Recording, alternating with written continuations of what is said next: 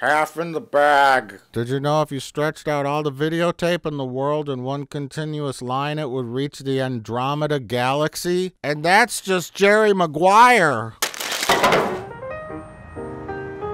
Did you hear the big news, Mike? No, what's the big news, Jay? They're making a TV series based on my favorite Star Wars character, Cassian Andor. Who? Isn't that Han Solo and Hoth gear? This is Cassian Andor in Who? What movie is that from? Star Wars. Which part? The part when they're on the Death Star? Yes. The part where they're on Tatooine? Yes.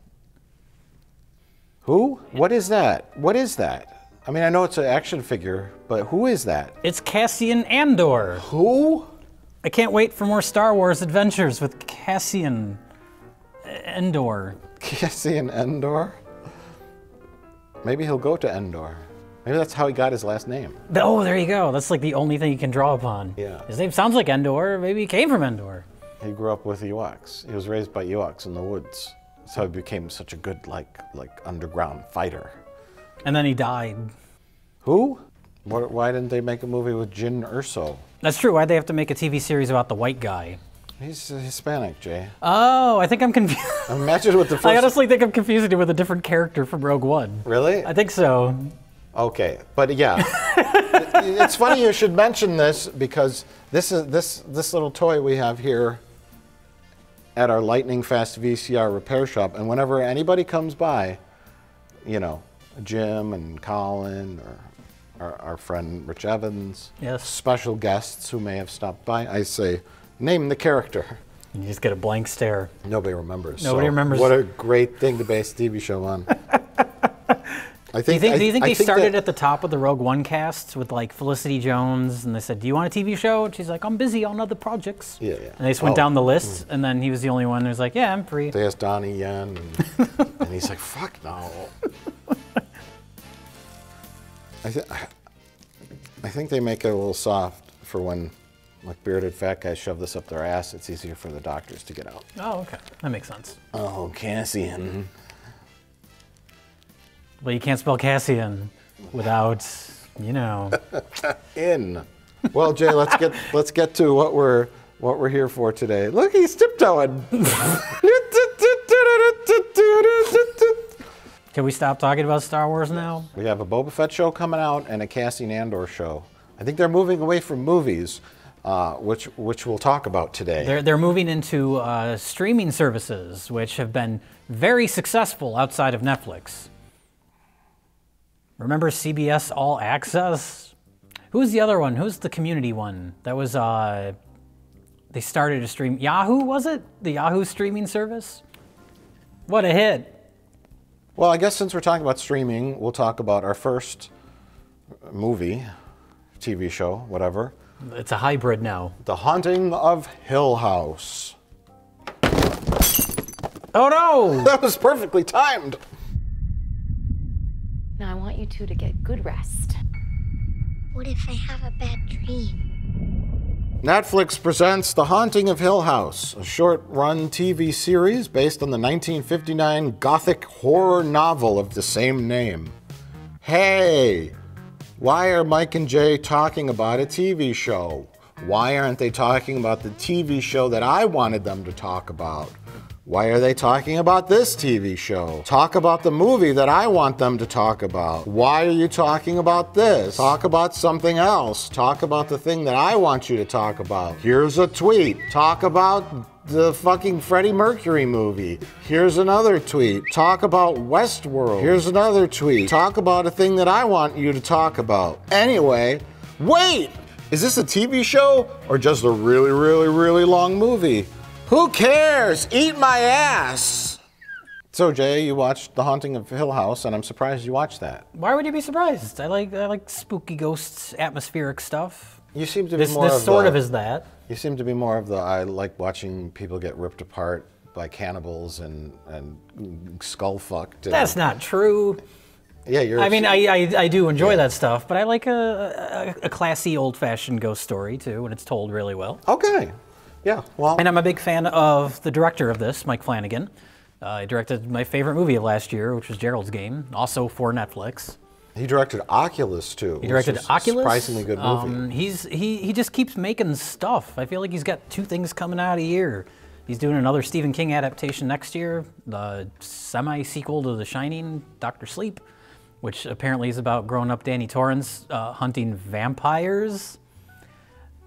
Good luck making that work. But let's talk about a ghost show that we both watched, The Haunting of Hill House. Okay. Based on the 1959 gothic horror novel by Shirley Jackson, Jackson, Shirley Jackson, which I've never read this novel. which was adapted into The Haunting, the movie, um, and then the remake. Yeah, well, that was the remake. well, the Liam Neeson one, I watched the trailer for it, and it was. I saw that in the theater, and it was like awful. Oh, Yeah. he's like he's like I'm I'm having a bunch of people come to this haunted house for a sleep study about paranormal. Yeah. and and I was There's like, lots of like CGI effects. Yeah. And there's like late '90s effects, and it's like this isn't scary.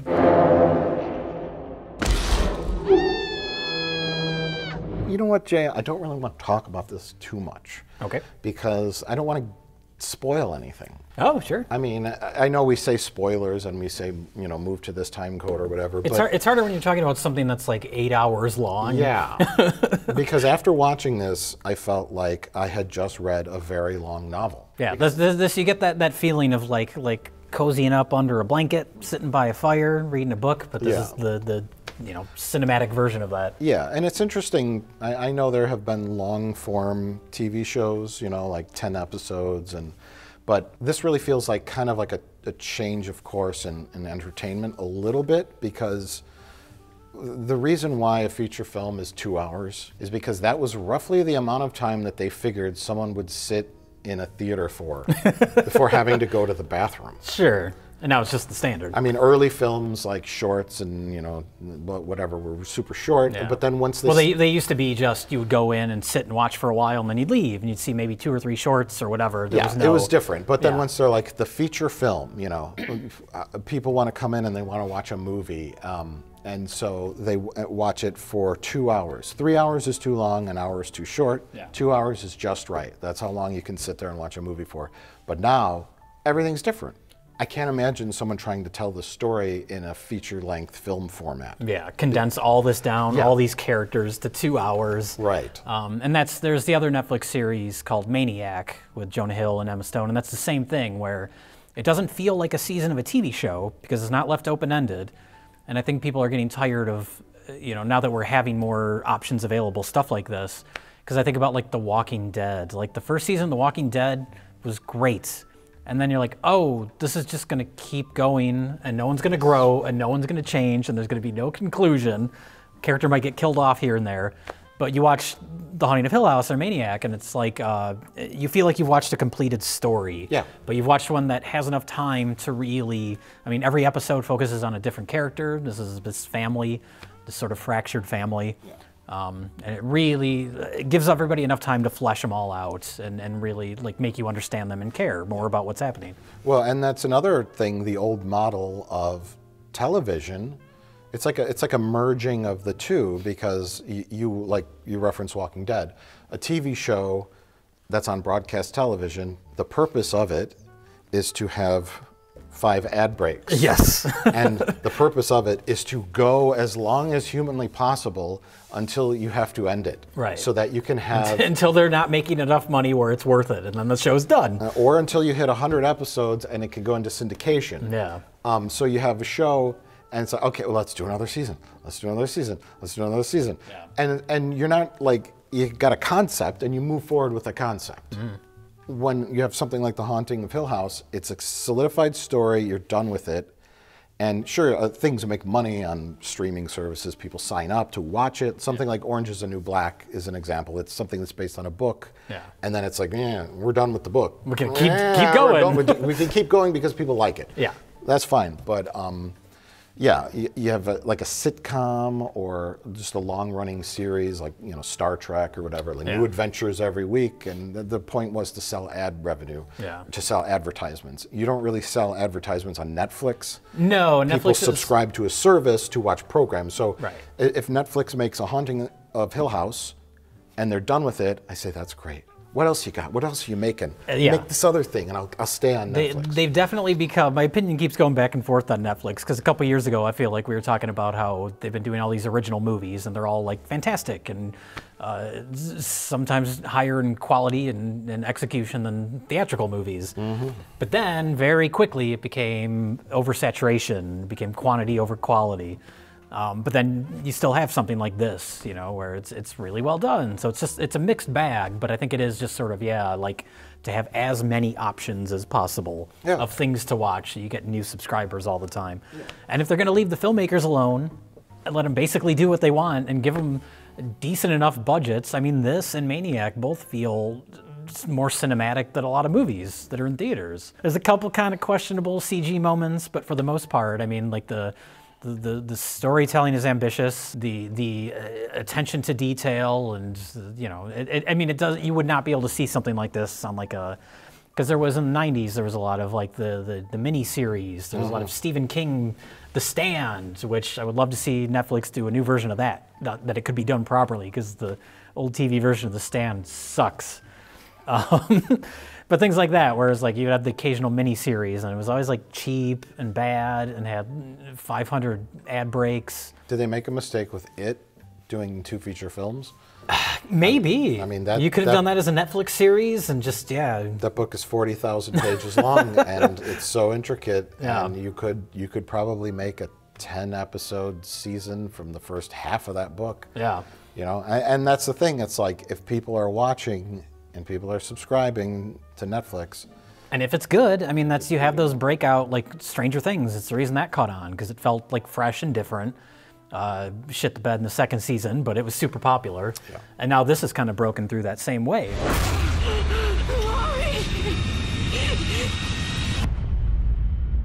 Would you wake us up from a dream like that?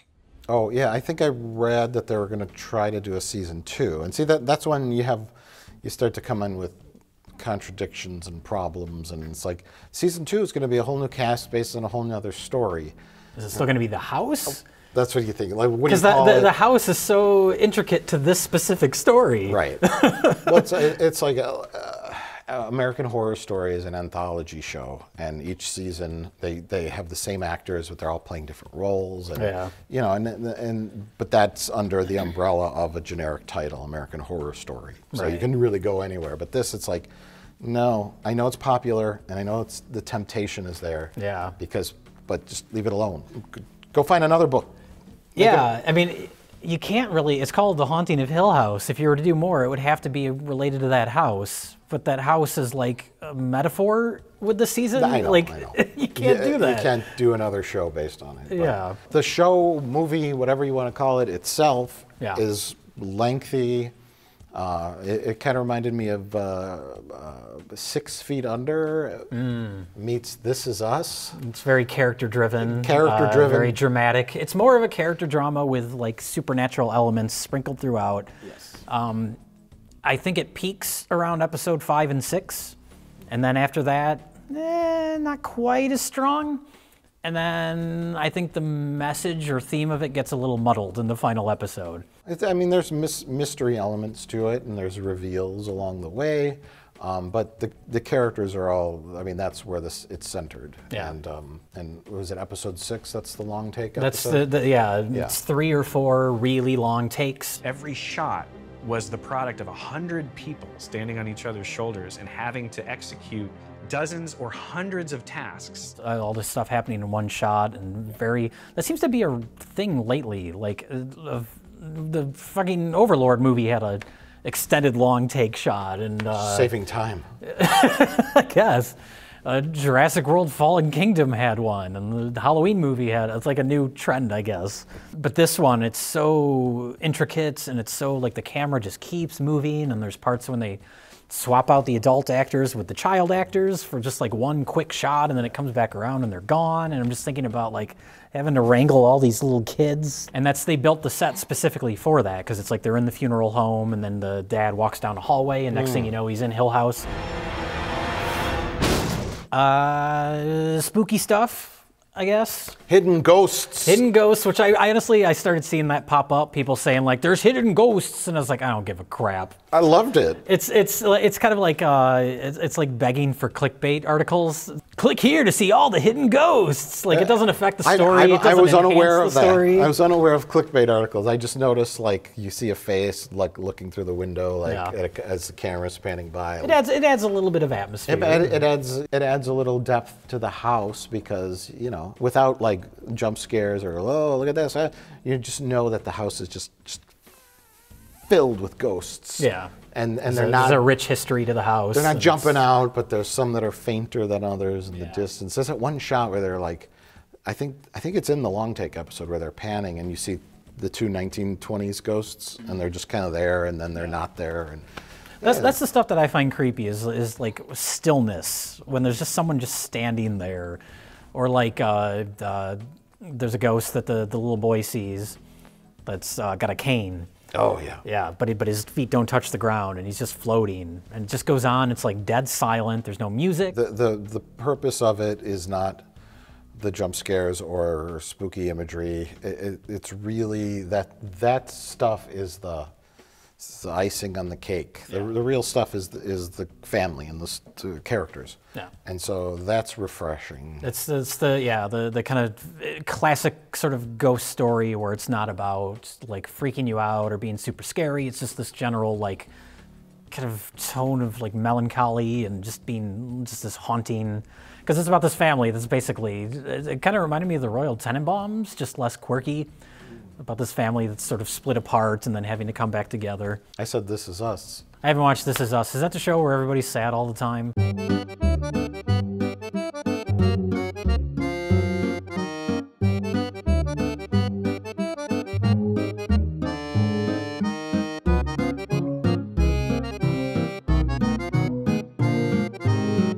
Great job, Mike Flanagan. You did it.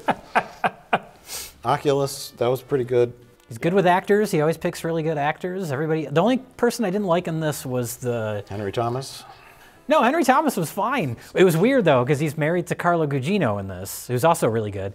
And sh- they were both in Gerald's game, but in Gerald's game he plays her father in flashbacks, and he's like sexually abusive towards her. And so then they're like married in this. I was like, good.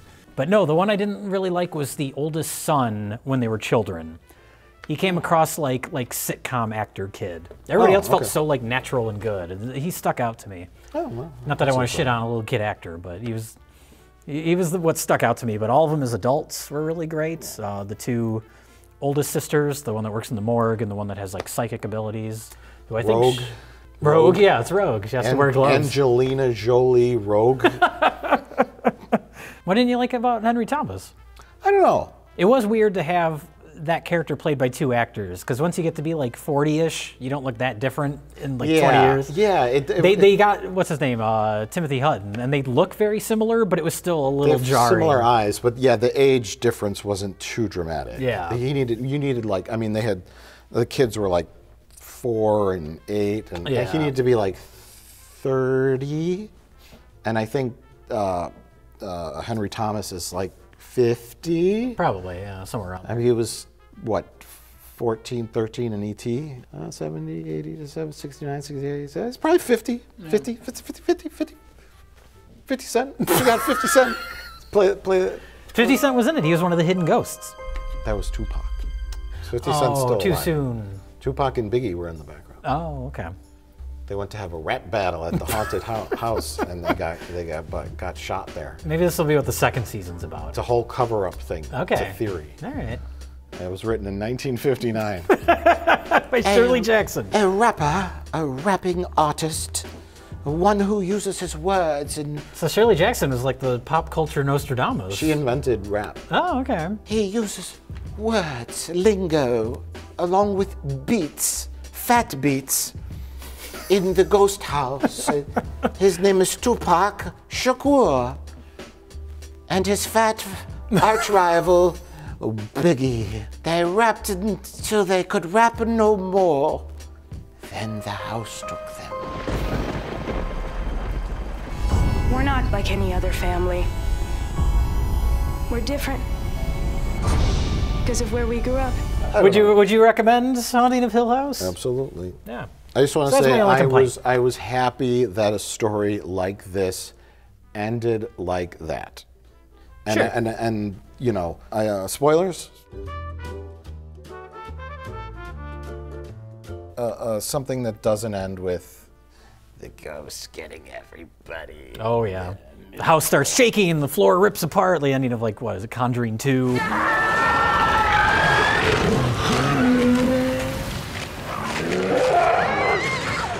Everything's going Where, crazy. where there's that temptation. No, it's it's all character driven, which I like. Um, I guess since we're in spoilers, I can mention it now. It turns out that like there's that one locked room, and that turns out to be like in, a different room for everybody, and it's very like uh, metaphorical.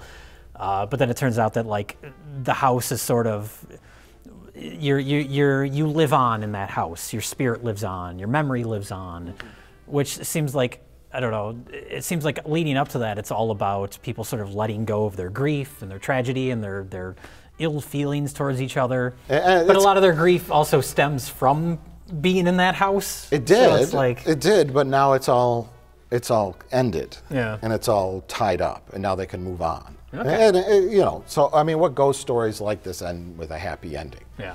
Where it's not just and the house won in the end. Come back, I dare you. you know, it, it was it was it was refreshing. Netflix remake The Stand. I want to see a good version of The Stand, not that shitty made-for-TV one from the '90s. Got a whole pile of books for you to make Netflix. Don't make Adam Sandler movies anymore. Although there's a market for that, apparently. That's that's why they do it. So yeah. Netflix is like, is is there an audience for this specific thing? Boom. consumer choice, more choices for the audience to watch products, and uh, our, our, our the next choice that we made to watch was a little film called Overlord.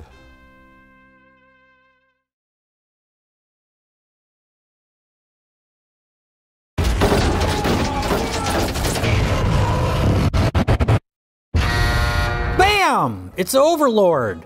From director Julius Avery, a director of one other movie, comes the most tastefully done film about Nazi zombies ever made. A group of soldiers drop into France ahead of D Day to take out a radio jamming tower and discover something terrible. Nazis are creating super soldier zombies. Hot damn, look out! Mike, what did you think of Overlord? Yeah, you know what? I didn't even see a trailer for it. I was vaguely familiar. Uh, you you said there's a movie coming out, and I said, okay. Well, I think at one point it was supposed to be uh related to the Cloverfield universe. I thought I, that was what they were saying back when Cloverfield Paradox was coming out. It's like this is coming out, and then later this year there's another Cloverfield World War II movie, and then everybody hated Cloverfield Paradox, so they're like, maybe we should drop this. This Cloverfield. This branding. Cloverfield uh, experiment has been a horrible failure. Let's just stop. Yes, stop brand, branding random movies with the Cloverfield title. Yeah. It's, it's embarrassing. It's but it's but it's Bad Robot, the same company that did those. Yeah. And I think that's kind of their because I think this is their first R-rated movie, but I think that's their model is like give these filmmakers that don't have a lot behind them and just have them make a weird little sci-fi or horror movie, and then we'll just release it. I guess like Well, th- this guy who made this, uh, he made one other movie, and then he made this, and now he's attached to direct Flash Gordon big budget remake. that's how it goes. So, but you know, great. Uh, I loved this movie. It's good, yeah. Uh, this was like, I think, my favorite movie of the last decade. uh, um, I- I'm gonna have to chalk that up to hyperbole. This movie's fine. It's entertaining, but it's ultimately a World War II Nazi zombie movie. well, that's the thing is like, yeah, you'd expect, you'd expect schlock, um, but it was, it was just really well done. It rides that balance. I think we've talked about this before. How it's like when you're doing something that has a pretty ridiculous premise, you either have to take it seriously enough where it feels like a real movie, or really embrace the schlock. Yeah. It's when people make movies that kind of try and ride that line, where it's like it's kind of serious, but then there's something quippy or someone acknowledging how ridiculous their situation Yes, is. yes. This never does that. Right. It's just like Saving Private Ryan meets Reanimator, and they they play it as straight as a, a World War II war movie without zombies would be. Right, right. they put all their bets on on taking it seriously. Mm-hmm. And you know what? They did a great job. And and the screenplay was like the guy who wrote The Revenant wrote the screenplay with somebody else who Really? wrote a bunch of other like movies. Yeah, I mean it's not like a hack job, which is surprising. Yeah. The characters are solid. The protagonist was great. Oh, every character had a well-defined purpose, and, and it worried me a little in the beginning because uh, there's a really great opening where they're flying to France, Yeah. you know, to, to airdrop in, and of course at one point, towards the end, they start everything blows up, and every, you know it go- goes badly as every airdrop before D-Day does. Yeah. In movies, at least. I'm sure there are ones that just went perfectly. That's not very cinematic, though. It's not very. Cinematic. Hey, we did it. Everybody jumped down. Everybody. our our plane did not get touched by by exploding flak in the sky. Yeah, that never happens in movies. No problems. Yeah. I'm, I'm sure it happened to some company in World War II somewhere, but this one, of course, had the planes blowing up. But they set up like uh, all the characters are talking, and I'm the guy with this, and but What the I liked about that, before you get into it, what I liked about that scene is is the sound mix on the movie is so, like, uh, you can barely hear their dialogue. They're like shouting at each other, but there's like the plane noise and you know everything going on outside, and it just felt more like natural and real than a lot of movies do when it comes to that type of stuff. But uh, but I mean, like, I was getting that flashback to that bus scene in that horrible Predator movie. Oh, it's like I'm the guy Yeah. who says this. and- I'm this character. Yeah, Here's yeah. my And I was trait. Like, I was like, no, Because there's the photographer guy. I take the photos. but but it worked. It worked so well. well, it was well written. It wasn't so on the nose. Over time, like you know, it, it takes its time with everything. Hmm? Our hero Boyce. yeah, I think so. He, he lands, and then he, you got uh, Kurt Russell's son Playing Kurt Russell. playing yeah, Snake Plissken Jr. That's Um, what I was. I was so. It was so distracting through the whole movie because I've seen him in other things. Like he was in uh, Ingrid Goes West. He was Elizabeth Olsen's boyfriend in that. Oh, okay, okay. He, he was on an episode of Black Mirror. But this is the first time I've ever seen him go full Kurt Russell. Like if they ever, whenever they remake Escape from New York, which they'll do eventually, I guess just get him. But yeah, like uh, him, and then you you got the Italian guy, and you got the Jewish guy, and then you got uh, Chloe, the girl from France, and uh, her kid brother, and He just wants to play baseball with the Americans. yeah, and it, it just great, just great. and, and our our uh, Boyce, our protagonist, is just like he's your guy. Well, they establish at the beginning. They talk about him. He didn't want to kill a mouse or something. So that, of course, leads to his kind of turn later on. It's like a screenplay that's that's formed. And It- It's it's like a flawless screenplay. the the only like if if I- if I were to like have some kind of criticism is is you know a little bit on the length. Uh, the part when uh, Boyce goes into he kind of stumbles his way into the the Nazi. Uh, oh yeah, when he finds their lab. laboratory. He, uh, a, a dog, random dog chases him, so he hides in a truck and there's dead bodies. Yeah. it's sort of like he goes from room to room, like sneaking around, like and discovering a little, everything. little convoluted to get him to that point. Is that what you're saying? Well, and not that too, but and once he's in there, it's like okay, now he's looking at this, now he's looking at this, now, and then it's like okay, we got it. They're, Yeah. they're doing an experiment. You know, this is going on way too long. Let get get out of there. But like all the I stuff. think, I think that was the, maybe the length it was just because up until that point it was a pretty straight World War II movie and they didn't really introduce anything supernatural or weird yet. So it's like, eh, give people enough time to soak this in. I was thinking of, because when he's stumbling around down there, you see like a severed head with a spinal cord and it's like talking. And I was having like flashbacks to like Day of the Dead. It, it was one of those those scripts that took its time to build up um, because they really like once they land they really don't have many interactions with with the Nazis with with like shooting and war stuff Yeah. you know? They they they capture that general or commander guy and they kind of torture him and it's, it's almost like it's it's building up to it. And then finally when they get to the part where they start shooting at them. It's exciting. Yeah, they don't they don't feel. I guess the opening is kind of an action scene, but it's like a typical war movie action scene. There's nothing like horrific Right. about it. Yeah. I feel like a lot of. Uh, I always think of the Evil Dead remake, the original Evil Dead. Like they spend so much time of them getting to the cabin and getting before anything like crazy happens, and then in the remake, it's like that opening scene. You're so loud, you pathetic fuck!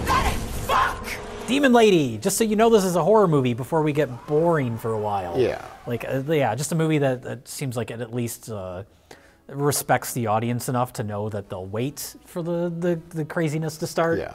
But, but that's the thing is that the boring stuff wasn't boring to me. No, it was fine. was It- like- if you didn't have zombies in this, it would still be a well done action World War II movie.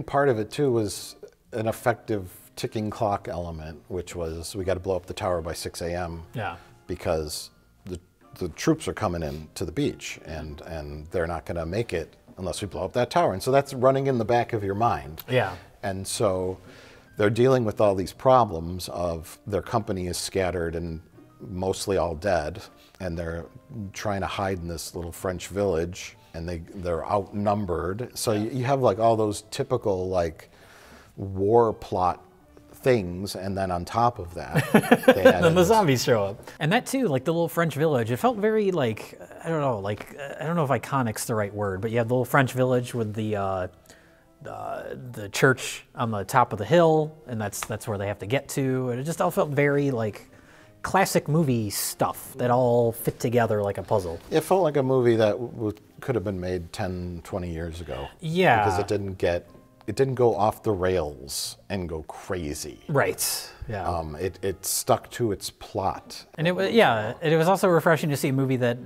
and I don't mean this in a bad way, but had kind of low aspirations. Yes. As far as like, and, and like I didn't you know really recognize anyone other than Kurt Russell's kid. It's all a bunch of people you don't really know. They've all I'm sure they've all done other stuff, but no big names. Mm-hmm. It just felt like like this is our story. We're going to tell this. We're not going to have the the huge over the top action ending. We're not going to introduce like too many too many like B plot lines. It's just boom. It's so straightforward. It was a really good action movie. Hmm? Like it got, it, instead of being like overbearing and noisy and awful, it, the You action was the action. exciting and, Yeah. and well, that's because you you understood their goal. It was so clear cut, Yeah. and you cared about it. Uh, was it Rosenberg and Tibbet? Or those the two guys up on the hill at the Jewish guy and the Italian guy. Yeah, yeah. They were the two that, that had to provide the cover fire. Yeah. While they were trying to lure Nazis out so that they could thin out the number in the base so that, you know, There's a strategy. there, yeah. what was happening? So that uh, Kurt Russell Jr. and um, Boyce, they needed to blow up the tower, but at the same time, you know, they also had to rescue the little boy and blow up all these bad Nazi zombies. Yes. Destroy this laboratory. Um, so you have those two characters that are providing cover fire, and they're running around, and I was like, oh, I care if if either of these two characters die. No. And, and I was like, oh, that's great. I, I feel something. Established stakes. And I, and I just kept thinking back to that Predator movie at the end when it was just like this just mess of It's just nonsense. Yeah. And I'm like, I don't give a fuck what's going on. Just end. Right. End movie.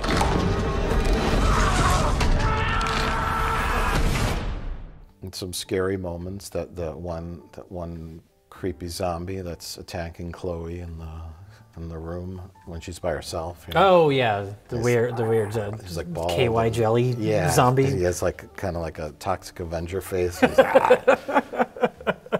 Uh, didn't go crazy with the zombies. I kept waiting for that. I was like, okay, we're starting more grounded, and then once we introduce the zombies, oh, then we're gonna get crazy action and more like, I don't know, Evil Dead 2 schlock or something. Which I love Evil Dead 2, but that's a different type of movie.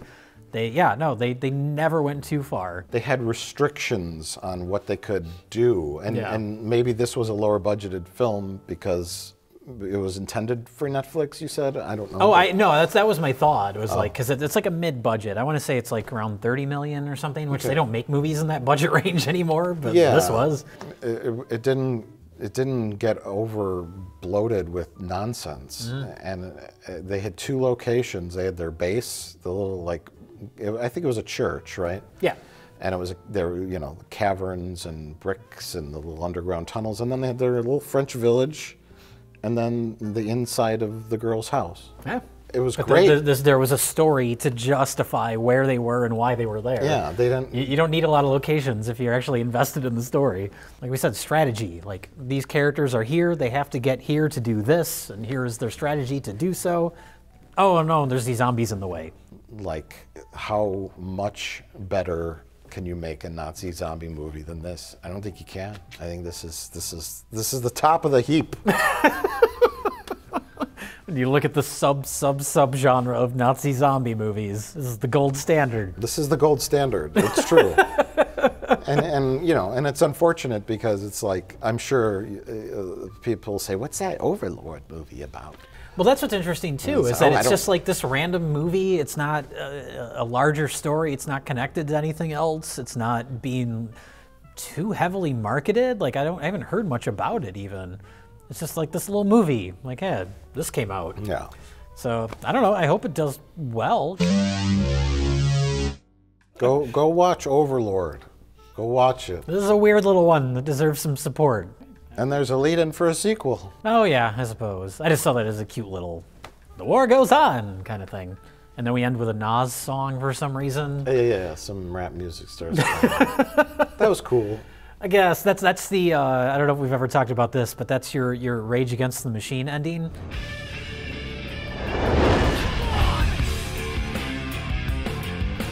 It could end with just score from the movie, but no, you leave them exiting the theater with a Rage Against the Machine song playing, and everyone's like, "Yeah, You wow them in the end. yes, yes." That's uh, that's my uh, that was my Avatar experience. The it's two and a half hours of the most complicated, uh, effects-driven movie ever, and then it kind of ends, and someone goes, "Oh, that sucked." It's because it didn't end with a Rage Against the Machine song. and then it's those Marvel credits. Yeah. you, know, you got to have those end credits. You can't just black with titles unless it's some depressing drama movie. Right. But everything's got to end with some kind of animation. Yeah.